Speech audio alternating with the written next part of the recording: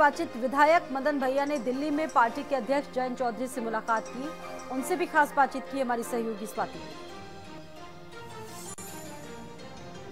UP के तीन सीटों के नतीजे सामने आ गए हैं। मैनपुरी में प्रचंड जीत। समाजवादी पार्टी की वहीं खतौली में समाजवादी पार्टी गठबंधन की जीत हुई है और मदन भैया ने जीत हासिल की है। बीजेपी प्रत्याशी को हरा कर इस वक्त हमारे साथ मदन भैया खुद मौजूद हैं, जो आरएलडी चीफ के घर पर पहुँचे हुए हैं मुलाकात करने के लिए। जीत शानदार रही।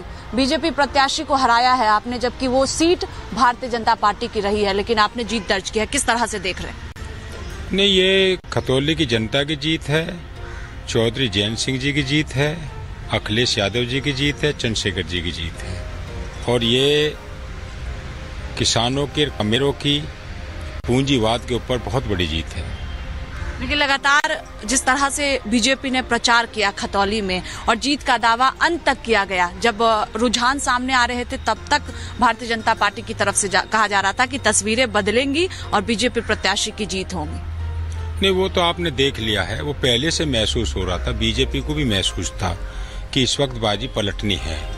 ये केवल हौसला अफजाई कर रहे थे अपने कार्यकर्ता को हौसला अफजाई करने का उनका अधिकार भी है।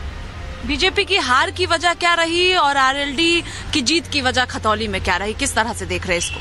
हार की मुख्य वजह ये रही, चुनाव में इन्हें जो बहुमत मिला, जो बहुमत कायदे में था भी नहीं, पर चलो जो मिला। लेकिन उसके तुरंत बाद ही मतदाता अपने आप को ठगा महसूस करने लगा। किसान आपको बहुत असुरक्षित और कमज़ोर महसूस करने लगा।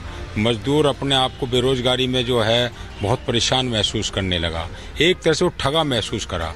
तो उसे एक अवसर मिला, उसने उस अवसर के लिए वो एक लालयत हो गया और उसने एकदम बाजी पलट दी। कैमरा पर्सन राहुल के साथ स्वाद पाठक, भारत समाचार, दिल्ली।